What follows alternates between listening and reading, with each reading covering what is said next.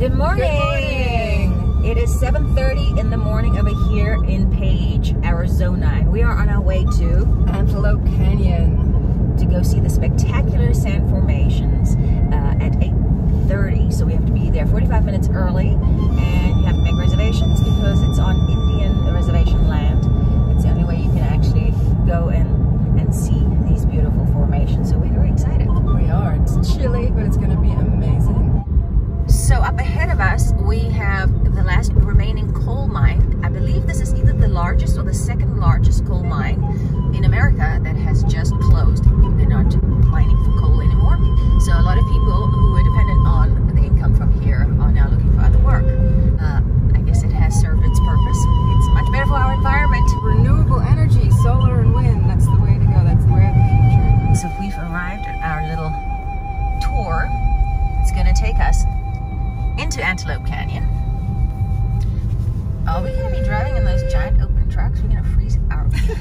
off. Yeah, it's called Adventurous Antelope Canyon Photo Tours.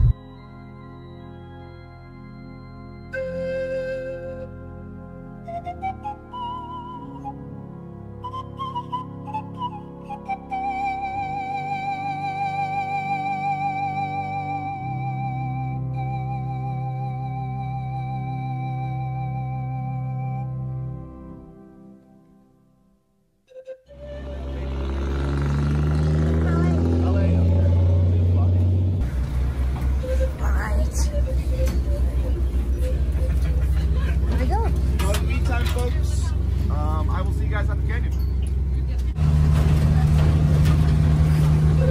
It has been beyond freezing. Vanessa and I picked the end seats, which was a bad idea. We're freezing.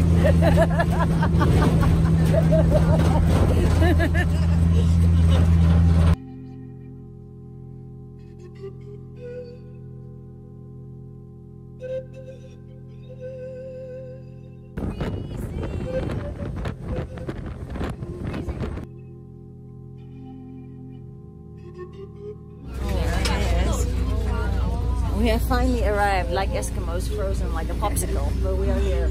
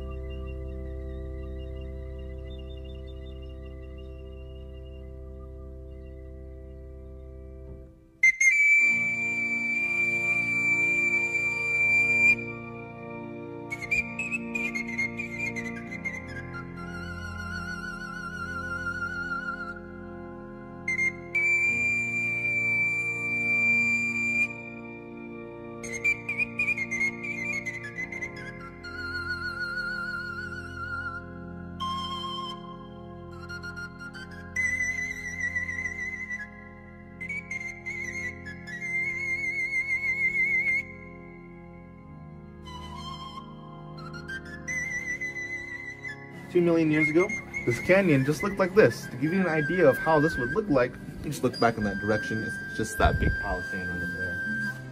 During that time, the ocean, heavy rain, or just simply monsoon weather came about, and it would deposit a tremendous amount of water on top of this petrified sand.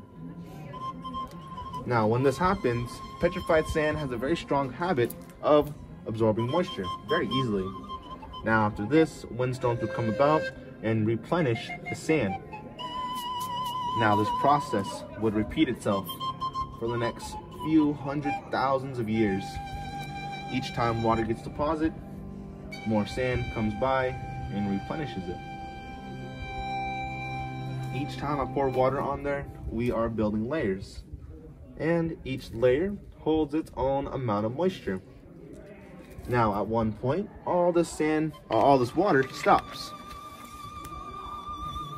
Arizona goes through a major drought, and what happens next is a tremendous amount of sand begins to pour back on top of the sandstone. In summertime, the sand can be unbearably hot, so due to the heat of sand, it is baking the sandstone underneath the sand. Also, the weight of the sand being uh, packed on top of the sandstone is compressing the sandstone, turning it into a sedimentary rock. So, the next time it blows, it'll expose the hidden layers that are right below the sand.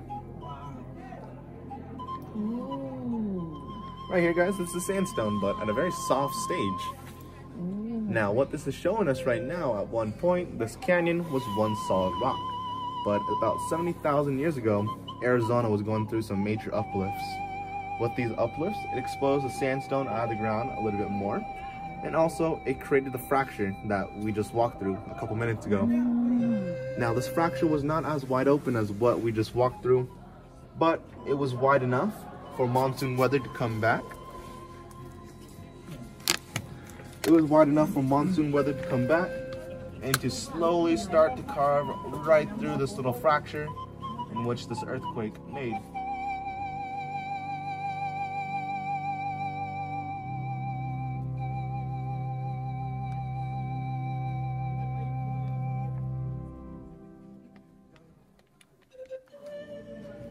Now, I'm gonna show you guys right here. You're gonna notice as you touch the sandstone, it is very dense to the touch already. Oh, go right ahead. Inside the canyon, you may have noticed that the lines along the wall were going sideways. That is because that is where this is where all the water is pushing in. In this demo, all the water was coming directly from the top of the canyon. So, we're going to see the lines along the wall going up and down instead. Line striations along the wall.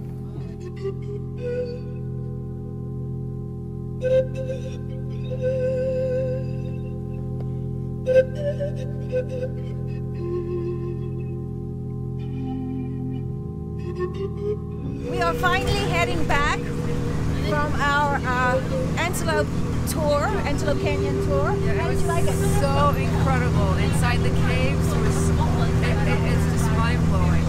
Just too too many tourists. Too many tourists, but but it was really incredibly beautiful. Yeah, incredibly beautiful. Now we're going back to uh, our car, and then we have decided not to go to uh, The Grand, the Grand Canyon. South Rim of the Grand Canyon because it's possibly snowed in. Yeah. So we are going Zion, my favorite place on the planet. Stay tuned.